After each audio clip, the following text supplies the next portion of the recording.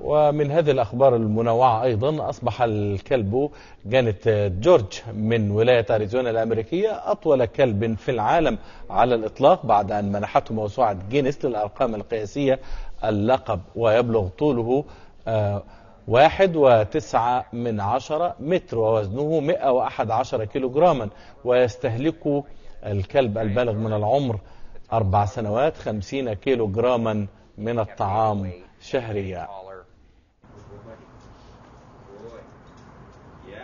There you go.